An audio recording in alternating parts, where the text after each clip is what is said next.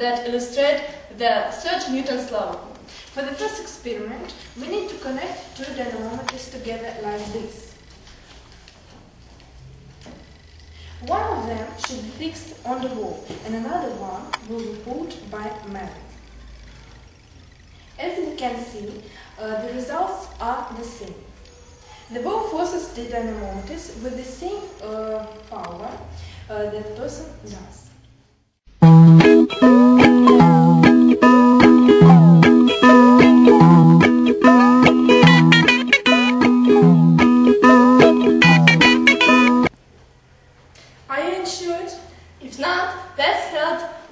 Interesting experiment.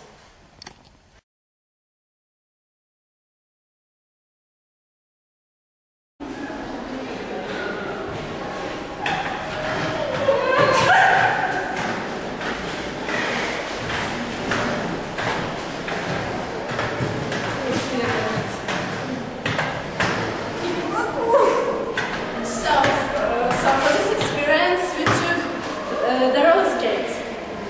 So, and, and we would like to show you one more experiment.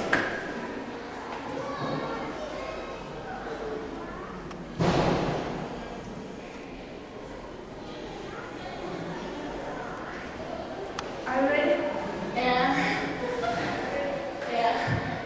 Three. So as you can see, the for um, the first.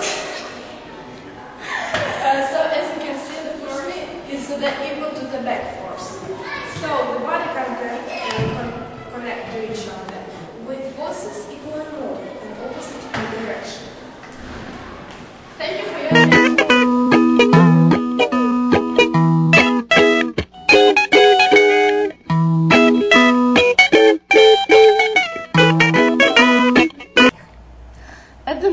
we are checking the, the third step, the Newton's law, for the bodies on the distance.